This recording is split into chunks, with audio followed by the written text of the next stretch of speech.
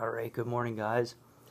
Welcome to your unique devotion for the day. I'm so sleepy, but that's not going to stop me from doing a little scripture time because this is important. We'll get the eyeballs rolling, get the ears moving, get the brain moving. It's good stuff. So today, I'm reading Hebrews chapter 6, verses 13 through 19. I guarantee there will be a little bit of chocolate cocoa powder in my breakfast. That'll help me wake up a little bit. So, Scripture, most important. This is called God's infallible purpose in Christ.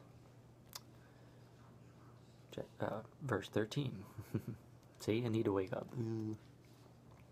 For when God made a promise to Abraham, because he could swear by no one greater, he swore by himself, saying, Surely blessing I will bless you, and multiplying I will multiply you.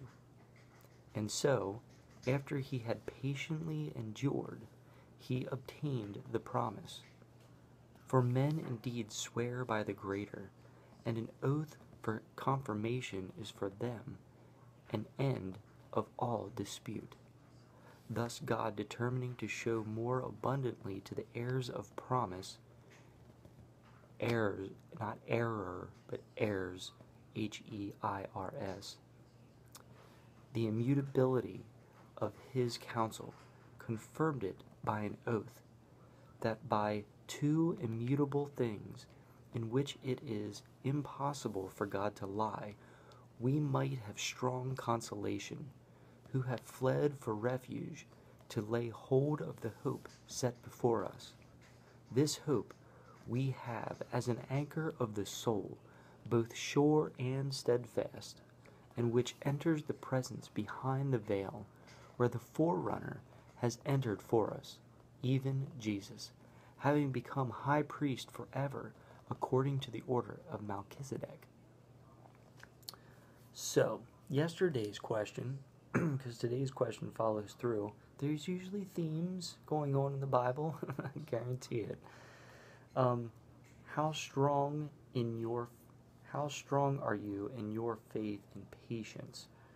That was yesterday. So yesterday, going through the day, you find that you need to have faith that things are going to happen, that you're going to make it through the workday, and having patience when for me, machines don't quite work right when um, ideas don't seem to flow very well. Having patience to let things work out.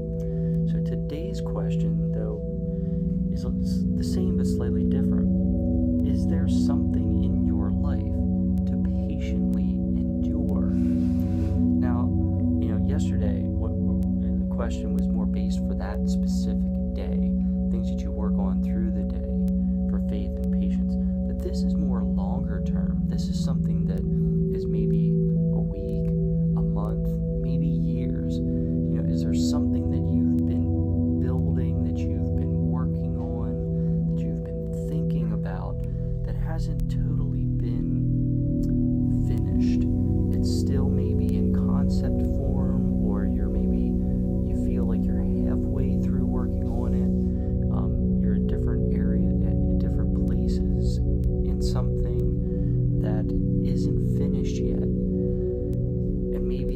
starting to get a little impatient.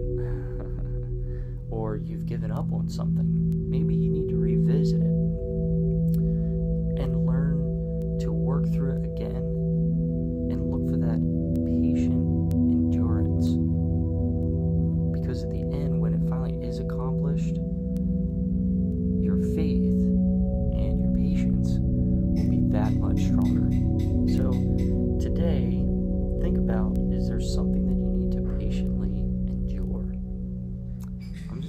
at that. I hope that God gives you all the blessings you deserve, and even more so, all the blessings you don't deserve. Have a wonderful day. I'll see you tomorrow. Uh, please subscribe if you haven't already. Like this video. Check the D box. Leave comments if you'd like. And um, yeah, that didn't that didn't go too bad for being so sleepy. I'll see you tomorrow.